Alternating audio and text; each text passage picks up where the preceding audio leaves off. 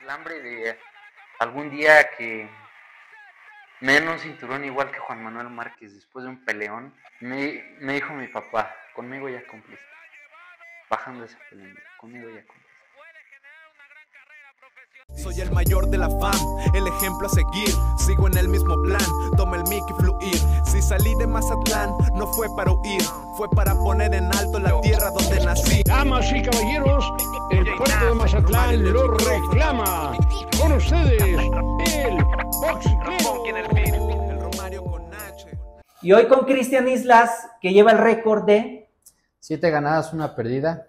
Este, dos por knockout ganadas. pero nunca tan noqueado. No, nunca, mano. Cristian, hoy traigo el tema de los estigmas del boxeo, cosas de boxeadores, cosas que, Sí. que tienen tan marcado este deporte que un día a un señor se le ocurrió de decir, el boxeo es para los pobres. Ahí donde ven a mi amigo Cristian, sonríe Cristian, para el cámara, por favor, sonríe. Esta es la sonrisa de un hombre que nunca va a pisar el Instituto Mexicano del Seguro Social. ¿Qué piensas sobre esto? Pues la verdad es que no, no estoy de acuerdo con eso. Mucha gente es lo que me dice. ¿Por qué boxeas? ¿Por qué, por qué haces esto? Tú, tú, no, tú no eres de aquí. Tú vete a estudiar, este, no tienes la necesidad. Pues yo la verdad es que sí me molesto, porque siempre he pensado, ¿por qué, por qué no? ¿Por qué no puedo tener yo un sueño y tratar de cumplirlo? Como tú dices, pues gracias a Dios no tengo la necesidad de pues trabajar, este, pues no estoy de acuerdo. O sea, ¿por qué alguien que, pues gracias a Dios le va bien, no, no tiene el, no podría soñar Claro. y tratar de alcanzar sus sueños, como yo lo estoy haciendo con el boxeo? ¿Cómo llega el boxeo a tu vida? O sea, tú le dijiste a tu papá, eh, papá, yo quiero boxear. O tu papá te, te dijo, eh, no, juega tenis. No, tú juega padre. Sí, no, sí. vamos al golf. ¿Cómo, ¿Cómo llegó el boxeo a la vida de Cristian Islas? Fíjate que yo era muy latoso de chiquito. Yo era un niño hiperactivo y este y siempre me llevaban a todos los deportes, a fútbol, practiqué fútbol, tenis, pádel, squash, este, básquetbol, o sea, de todos los deportes. Pues en ninguno me acomodaba. O sea, yo era bien latoso, este, me valía, me salía. Un día llegó mi papá y me dijo, oye, este, estoy apoyando un gimnasio de boxeo, este, vamos a que entrenes. Pues le dije, va, pues sí. Pues llegamos al gimnasio, ya me puse a entrenar y pues me gustó. Así comencé a ir y no, no faltaba. Pues mi papá vio que ¿Te pues, me interesó. Sí, este, mi papá la verdad que de toda la vida le ha gustado el boxeo. Su ídolo, Juan Manuel Márquez, está igual que el mío. El ídolo de muchos. El ¿no? ídolo. El ídolo de muchos, ¿no? Se puede- La verdad que Juan Manuel Márquez es una inspiración gigante para mí. ¿Tú, tú sí se- llegaste a sentir el rechazo de tus carnales, de, de tu, de tu cuadrilla de compañeros del box, que literal entraron a entrenar box porque quieren ganar billete, porque quieren sobresalir, porque vienen de abajo. Muchos inclusive vienen de, de, de, de ser acá, de delinquir, hermano. Tú sabes que esta es como que el deporte para rehabilitar a, a un carnal que andaba en malos pasos, ¿no? Sí, sí. Ven un güey con tu porte, ropita chida, tenis bien, algo bien, ¿no? Llegas bien. Llegó, llegó en algún momento esta parte del rechazo por tus compañeros, decir, ah, es que ese güey nomás viene a, a farolear o ni sabe, ni le ha de gustar.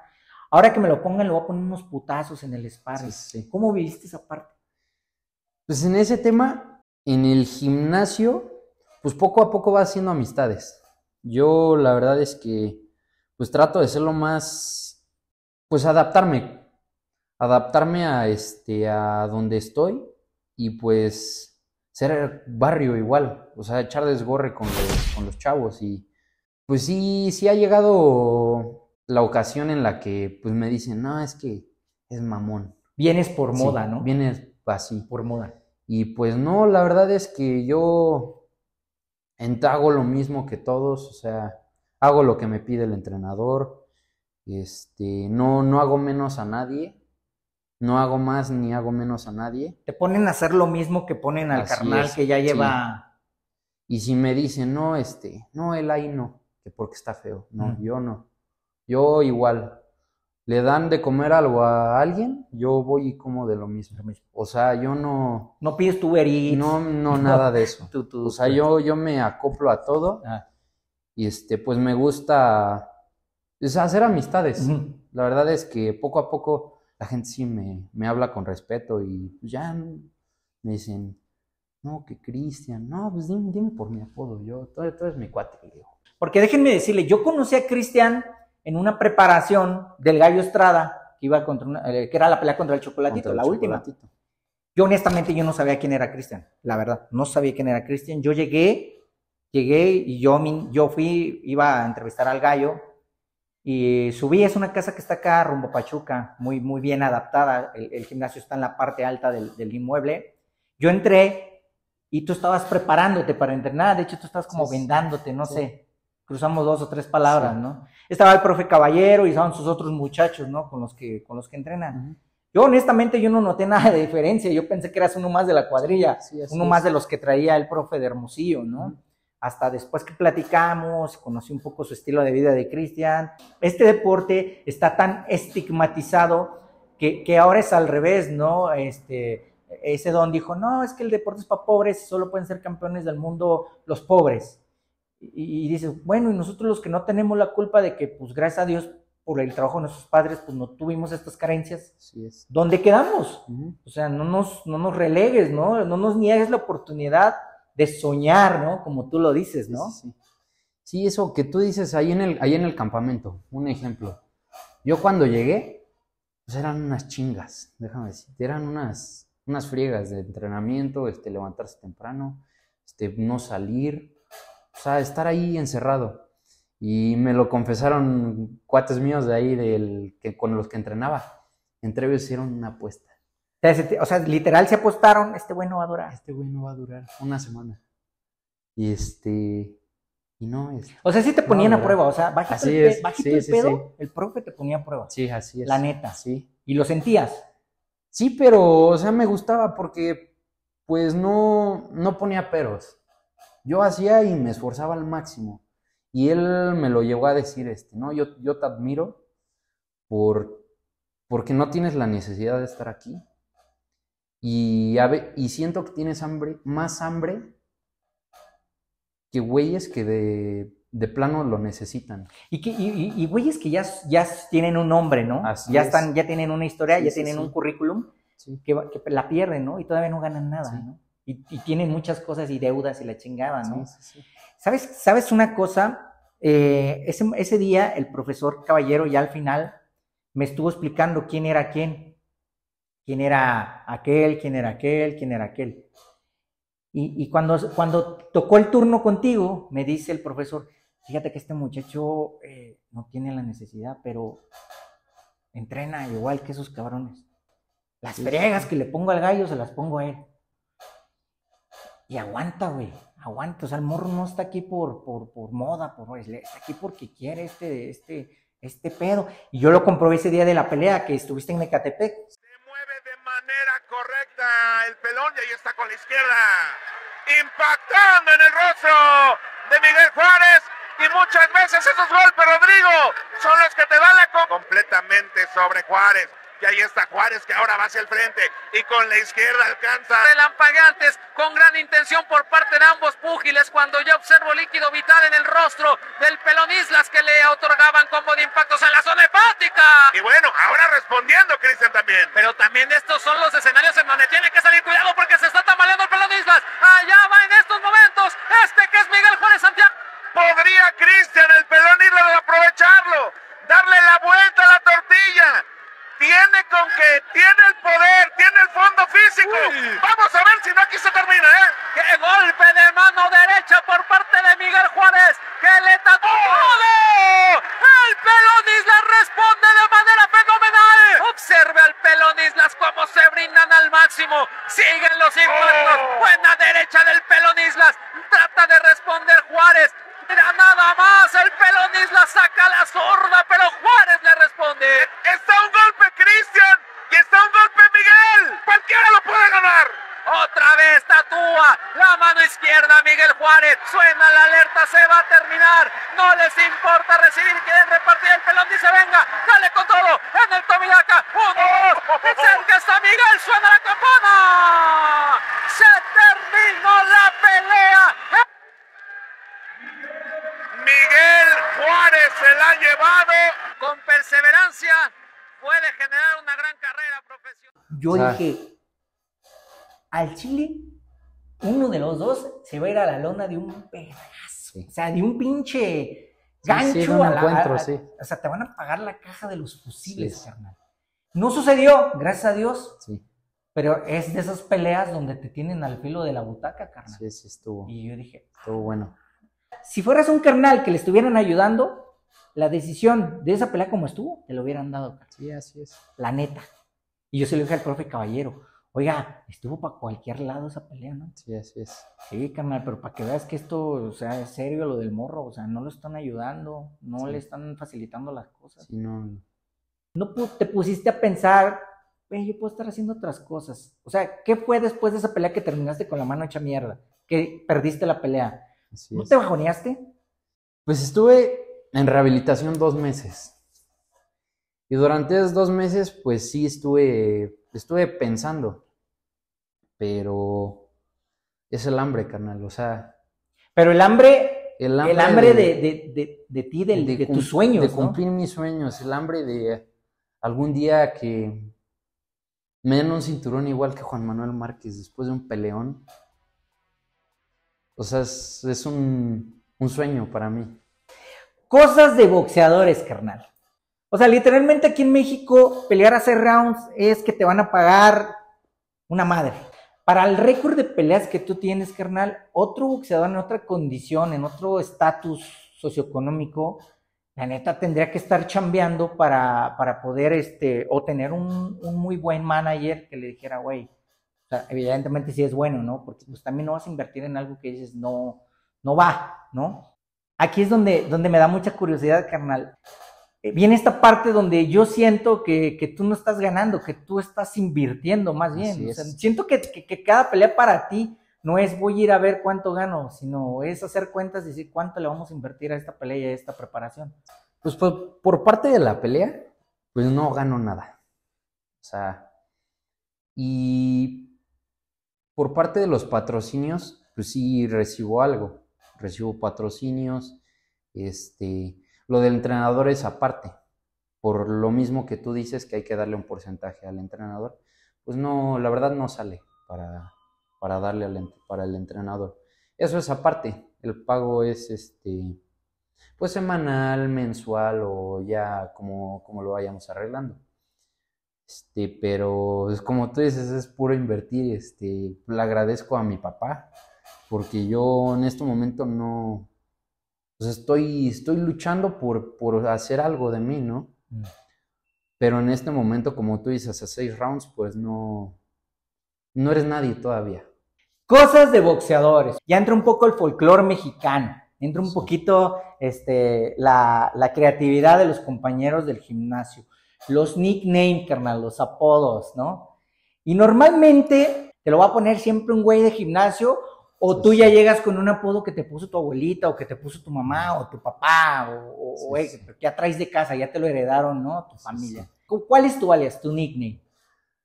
El pelón. ¿Por qué? ¿Ya lo traías o te lo pusieron en el No, gimnasio? ya lo traía. Ese sí es de, de familia, de, de toda la vida. Siempre andaba pelón. O sea, andaba rapado. Mi papá me traía rapado siempre. Tu papá te rapaba. Sí. O sea, o no él, pero sí me llevaba y me cortaban el pelo. Siempre andabas así. Siempre andaba pelón. Y pues así se me quedó. O sea, en la escuela o todos me... Y así se me quedó. esto del nickname en los gimnasios es como muy tradicional. Porque siempre normalmente el nickname te lo pone un güey que está más jodido que tú, ¿no? Eh, si eres un, un tipo atractivo, que eres un, un- chavo que no es feo, ¿no? Y es al gimnasio, la neta la banda nunca te va a poner un apodo de "Hey, el, carita o el guapo o el príncipe. No, Sí, el- no. te van a poner un No, pinche manchado. alias manchado, ¿no? Hay tipos a los que el nickname eh, les funciona más que a otros, por ejemplo el Canelo. Al Canelo no le dicen Saúl Álvarez. No. Al Canelo tú ves los Sí, pósters sí. del Canelo y es Canelo. No, es Canelo. Canelo. Es muy distinto en las mujeres. Siempre ellas se van a poner el nickname. Así Siempre ellas van a ser o la bonita, o, o la princesa, o la emperatriz. O sea, no, raramente vas a ver un pinche nickname que sea barrio, ¿no? Sí es. Nunca, es más, nunca va a haber una boxeadora que, que, que, eh, Irma la India Morales. Jamás. ¿Tú le has puesto un nickname a alguien? No, nunca. ¿Nunca has tenido la oportunidad de No, bautizar a alguien? Sí, no. Porque pues ya cuando tienes tiempo en el gimnasio, ya cuando tienes tiempo en el, en el crew del Sí, profesor, ya tienes ese, ese, ese privilegio, ¿no? De Sí, decir, esa, déjame bautizo a este güey esa yo. esa confianza, ¿no? Ajá. Sí, pero no, la, la verdad es que no, o sea, me gusta llevarme bien. Este, no, no pasarme de lanza igual. O sea, no me gusta ser llevado pesado. O sea, me gusta llevarme y echar relajo, pero así como para poner un apodo así medio, medio pesadón, no, no, no. me- Por- porque, porque no me vas a dejar mentir. Tú que has, tú has estado en esos lugares, ¿no? Sí. Yo no sé, porque al Chile no, no- nunca he estado, ¿ah? Pero no es lo mismo el ambiente de un gimnasio de boxeo que el ambiente en un club de golf o en un Ah, club de tenis, ¿no? No, no, no. No, no, no, no es lo mismo. O sea, tú entras Sí. a las regaderas del, del gimnasio de, de box y, y te tienes que cuidar, ¿no? Porque Sí, por ahí te pueden quitar la toalla o no sé, pero siempre están los manchadones, ¿no? Sí. A a- a- no sé, tú descríbeme un ambiente en un gimnasio de tenis, en un, en un club de tenis. Sí, no, es totalmente diferente. O sea, todos tienen sus cosas bien arregladas, no ves nada tirado. No, y en el box, o sea, es un desborde, como Sí. tú dices. ¿Te llegaron a aplicar alguna bromilla, si ya que estás en confianza? Este, ¿Alguna ahí que digas, no, ahí sí se mancharon, se pasaron de lanza? Pues fíjate que no. O sea, sí, siempre me he llevado súper bien con, con mis compañeros, con mis cuates. Y este, o sea, nunca, nunca nos hemos pasado, ni yo con ellos, ni ellos conmigo. Yo no lo llamo clasismo, no lo llamo clasismo. Yo creo que es, como diría mi carnal, eh, allá en Monterrey le mando un saludo a la Mole y al Adrián Marcelo. Yo le realismo, no es clasismo, es realismo, las cosas como son, ¿no? Tampoco vas a ocultar cosas. También en el boxeo, como te ven, te tratan. No he tenido tanto ese tema, más bien en los torneos es cuando viene la parte que tú dices de discriminar. O sea, aún así, con Aún el perfil así, que tú tienes, te han discriminado por... Discriminan al revés. Pónganle el pie a este chavo. Pónganle el pie o trábenlo. O no quiero que sea campeón de este torneo. O sea, desde la... Pues sí, las... Quienes manejan los torneos, ¿no? Este, Los organismos, ¿no? Porque pasó- aunque sea, aunque sea competencias amateur, eh, ya están muy metidos los organismos aquí. ¿no? Exacto, son- me, tocó mucho en el amateur. Este, nadie quería que yo saliera adelante, o sea, todos me querían, me querían retirar del boxeo. Por un tema de envidia, un tema ahí. Em, deja tú, este, podría ser por envidia, no, nunca supe. O sea, pero sí me, me hicieron el deporte imposible. Pues para mí sí es de envidia, carnal, porque dices, Sí, te están poniendo el pie porque no quieren que una persona que tiene las oportunidades y que tiene los, los recursos sí pueda brillar, ¿no? es. Quieren que a lo mejor el que no tiene nada, este, darle el empujón, ¿no? Y pasa mucho, ¿eh? Sí, sí. Pasa en los comités, pasa en que es de dedos, ya en muchos de dedos. Sí. Este sí, este no, este no, este no. Así es. Oye, carnal, otro punto bien importante. Me imagino que sí tienes anécdotas tuyas y de carnales cuando llegan las peleas, carnal. Cuando llegan las peleas y subes el flyer, "Ey, tengo pelea". Que no faltan los carnales que, que, que, que tiene un chingo de tiempo que no los ves, que no los topas o, o que la neta no convives ni con ellos. El típico carnal que dice, saca los boletos. Que eh, Raúl el Indio Hernández subió su, su, su, su flyer. Ah, voy a pelear. El carnal que lo ve todos los días, pero nunca le tira un pedo. Ah, carnal, espero mis boletos, eh, saca los boletos. La morra, güey, que nomás le da, nomás le da el avión, güey, pero ve el flyer y, ay, espero los boletos, mis boletos. Mis boletos, güey. O sea, va a llevar al otro carnal Sí, sí, con el que anda quedando a la función de, de este güey. El pedo, carnal, es que mu- mucha gente no sabe, pero esos carnalitos que van a cuatro o seis rounds, muchas veces les pagan con boletos. Sí. Le- o sea, su sueldo de ellos son que les dan que 200 boletos, 100 boletos, y dicen, ah, esta es la mitad de tu sueldo. La otra mitad te voy a dar chance que pongas un puesto de chicharrones adentro y saques algo de billete. Sí, sí. O sea, esa es la parte que no ve la gente, carnal. Sí. Me imagino que tu círculo social, pues, o tu círculo de amistades, pues es como de tu clase, ¿no? De, de tu, de donde tú te mueves, ¿no? Igual te ha pasado esto, o sea, igual, Sí, mucho. La igual. verdad es que sí, o sea, sí hay. Cuando mi papá hacía las funciones, este, pues sí, igual, me decían, ah, espero los boletos. Saca los boletos. Sí. No, pero como tú dices, o sea, no saben que pues es un gasto muy, Sí, que al pesado, final, un gasto pesado. que al final de cuentas, aunque tú no lo necesites, o sea, no saben Sí. qué pedo, no saben cómo está el rollo de, de estos carnalitos, Así por es. ejemplo, que les pagan con boletos. Sí, sí. No mames. Yo, o sea, mi, mi papá hace una función, pongamos un ejemplo, y pues te piden boletos regalados.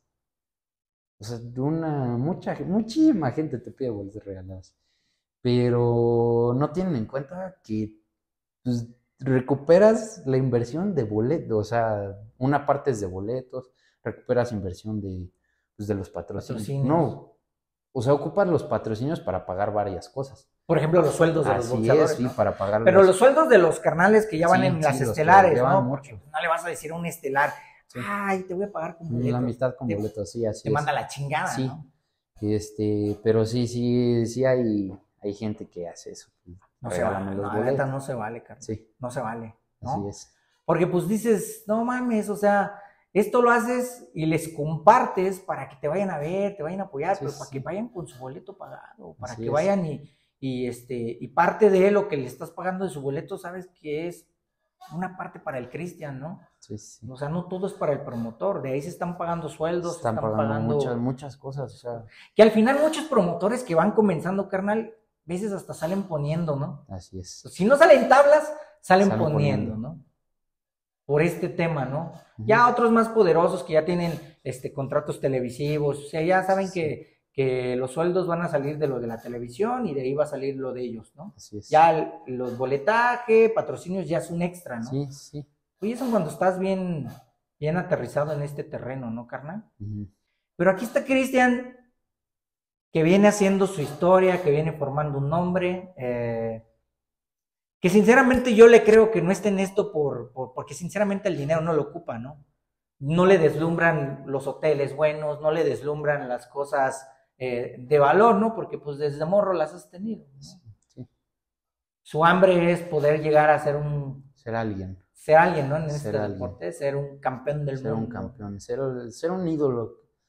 Tú imagínate, o sea, que, que un niño te pida una foto y te diga, no, eres, eres un chingón, quiero ser como tú, este, Ahora tienes un compromiso el, el ¿qué? 22 de el septiembre. 22 de septiembre. Tienes el 22 de septiembre aquí en la Ciudad de México. En la Ciudad de México, en el lienzo charro de Aragón. Para que vayan, gente, eh, ahorita vamos a poner toda la descripción de la función, dónde pueden comprar los boletos. Sí. Me imagino que hay una página o algo, ¿no? Este sí debe de haber una Se página. los vamos a compartir y si no, pues vayan a su a sus páginas del pelón y ahí él mándenle un mensaje y les va a contestar Sí, para sí. que lo vayan a ver. Pues Yo le agradezco al gallo, este, me enseñó mucho durante ese campamento. ¿Llegaste a hacer sparring con el gallo? No, nunca hice sparring ¿Nunca? con el gallo. hasta- ¿Con quién de los top de ahí, de don, de don Pues hice, hice con, con el Pichón, que es un peleadorazo fuertísimo. Hice con el Latino. Con la... Hice, Oye, el latino, este. Ay, yo siempre he seguido su carrera, pero la seguía un ahorita más, Ujú. porque supe que fue a hacer campamento con Aoya Así Inoue, es, sí, ¿no? este, Estuvo allá. Fue su sparring de Inoue, de Noaya Inoue. Este, pues imagínate. Por qué- algo se lo llevaron. Sí, de qué nivel es ese boxeador para, para que el Para que monstruo estuviera apoyando al monstruo. en lo la pidiera para que le Fulton. ayudaran a... ¿Tú crees que mucha gente se mete al boxeo por ser un canelo más? ¿Tú crees que todavía hay esas personas que quieren ser un canelo más? Pues, puede que sí, o sea, Por tu perfil, sí ha llegado gente que ha hablado con tu papá y, y la neta, la neta, de huevos, la neta, lo que es. mm, Sí le han ofrecido, oye, vamos a manejar la imagen de Cristian de esta manera. ¿Podríamos hacerlo el- el próximo Canelo? ¿Cómo se le han acercado a tu jefe? ¿Qué le han dicho? Pues así como, si tú, no como, como tú dices. No de raspar muebles, no, no, no vamos a raspar muebles, no, no digas nombres, ¿no? Pero, sí, sí. ¿cómo, han- ¿qué le han dicho a tu papá?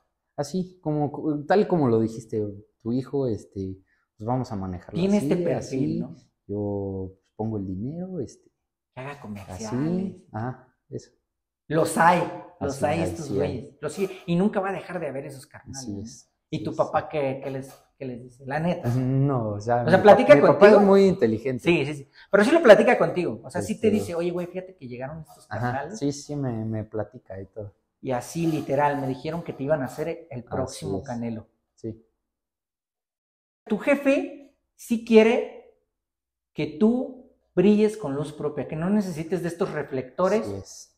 que tuvieron y que tienen otros boxeadores en este momento. Sí. Para, para ganar este público, ¿no? Para hacer... lo, lo que me dice mi papá, este, yo no quiero un, un cabrón que le regalaron todo. Yo quiero que te ganes las cosas. Y este me dice, ¿de qué sirve que te compre las peleas, que te compre los campeonatos? No, no te vas a ver, no te vas a ver, este, cumplir tu sueño, no te vas a ver lo mismo. O sea, y yo, yo me he dado cuenta que las chingas que me meto, los, los días que me despierto súper temprano, los días sin comer, los días pues, casi casi llorando del entrenamiento, este, pues mi papá me lo dice, no, a ti no, no te voy a dar nada, nada regalado. ¿Qué fue lo que te dijo tu papá ya acá, en privado, con tu mano hecha mierda? O sea, los, los madrazos que estabas recibiendo, o sea, literal, o sea, no son mentiras, o sea, literal es un madrazo que fácil te podría quitar la vida si no, no tuvieras una buena preparación. sí. ¿Qué fue lo que te dijo tu papá? O sea, ya como papá, no como tu, no como tu, tu, tu apoderado, no como la persona que está detrás de ti en todo, como tu papá. ¿Qué te dijo tu jefe? Me, me dijo mi papá, ¿quieres seguir en el boxeo? Me dijo, conmigo ya cumpliste. Bajando esa pelea, me dijo, conmigo ya cumpliste. Ya mostraste los huevos, ya mostraste el hambre, ya mostraste, ya me, dejaste impresionado, me dijo. Porque, pues como tú dices, o sea, fue una pelea du- durísima. Me fracturó la mano desde el primer round. Este, y él me dijo, ya ponte a estudiar, güey. O sea, ya. Es que cualquiera, Sí. carnal, cualquiera, la neta, cualquiera, y me incluyo, y yo, carnal, yo, si yo me subiera al ring, la neta, carnal, al momento que yo siento que traigo la mano madreada, yo ya no salgo. Sí. O sea, yo ya no salgo al otro round. mm, Y sí, o sea, literal lo que me estás diciendo que te dijo tu papá, fue lo que yo dije, el morro ya cumplió, la neta, si, si no tiene la necesidad de estar en esto, que ya no Sí. siga. O sea, yo la neta sí pasó por mi mente que ya no ibas a seguir, carnal, porque yo Sí. vi esa mano y, y ya ves que nos encontramos hace poco, ¿no? Y dije, sí. "Ay, ¿cómo va la mano? Ahí va, ahí va, ya. Sí. De hecho, acabas de tener una pelea, ¿no? Sí, tuve una pelea en Ya. Mérida. Bien. Bien, ¿no? Que la Gracias sentiste bien. Dios, todo, todo. Tu todo mamá, carnal, ¿qué te dijo tu mamá? Las mamás son... Sí, no, No, la no, mamá imagínate. Lloró. Siéntelo. Mi mamá me abrazó y. Se, Lloró. sin- sin- me dijo todo sin decir nada. Con Sí, la mi mirada, sí. Tu hermanita igual, me Sí, imagino. todo, sí. Carnal, otro que estaba ahí en la, en la tribuna porque te acompañó tu equipo de preparación, entre ellos estaba el Gallo Estrada y a dos filas de él estaba Carlos Cuadras. cuadras.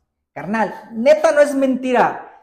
Yo veía al Carlitos, no sé si tú has convivido con Carlitos Cuadras. Ah, es un amigazo. Carnal, se paraba y con su estilo que tiene Sí. el Carlitos. ca- O sea, Sí, neta, sí. estaba eh, parado el güey, no se sentó para nada. El gallo se paraba, se sentaba, gritaba. Estaban otros morros, no, no recuerdo mi quién equipo era. de trabajo de. Spock, este, de varios chavos.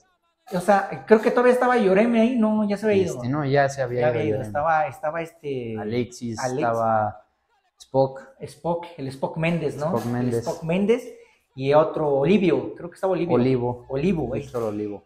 Neta, yo vi al gallo y dije, un campeón del mundo está disfrutando lo que está viendo en el ring. Sí. O sea, ya para que un campeón, o sea, independientemente que es tu compañero y que hicieron compadrazgo y que se la pasaron muy bien, para que un campeón del mundo de la calidad del gallo Estrada lo tengas al filo de la butaca, es que estás dando un espectáculo, pero bien cabrón. Sí. ¿Qué te dijo el gallo?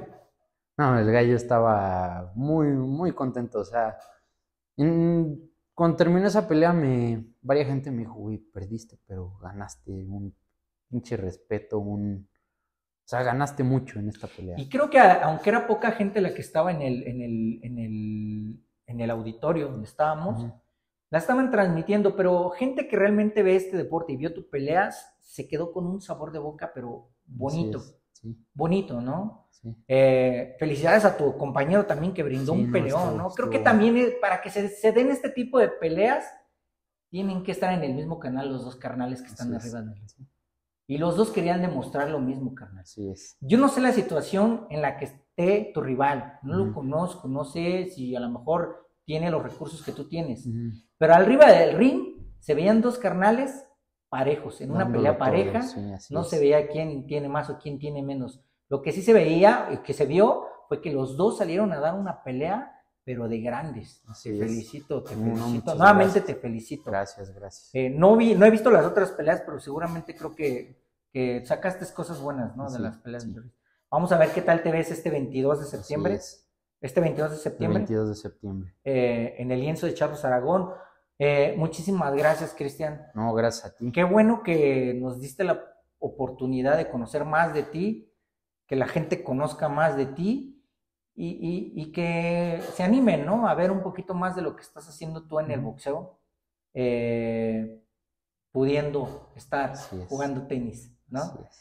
Señores, esto fue eh, un episodio más con el boxglero, Cristian el Pelón Islas. Muchísimas gracias. No, no, no mencioné que acá detrás de la cámara está un gran amigo que conoce todo el mundo, que, que está cocinando algo muy rico, un salmón ahí, que es Chuy de Hermosillo, eh, un amigazo que está aquí apoyando a Cristian, pero que eh, aparte de Cristian, trabaja con muchos boxeadores, muchos campeones del mundo, incluido el, Gall- el Gallo Estrada. Muchísimas gracias, Chuy. Gracias por ese salmoncito. Y, y gracias, hermano. Gracias No, por gracias a ti. Esperamos que, que nos veamos en otra ocasión y podamos Sí, sí, platicar más. espero ¿no? Y voy a estar ahí, voy a estar en la pelea. Ya estás. Voy a estar ahí Sí. en, en ringside. Voy a Ahí estar- nos ¡ah! vemos. Te vas a gritar, ¡eh! Los boletos. ¡Ah! no es cierto. Eh, muchísimas gracias. Nos vemos a la próxima. Soy el mayor de la fam, el ejemplo a seguir. Sigo en el mismo plan, toma el mic y salí de Mazatlán, no fue para huir, fue para poner en alto la tierra donde nací. Damas y caballeros, el puerto de Mazatlán lo reclama. Con ustedes, el el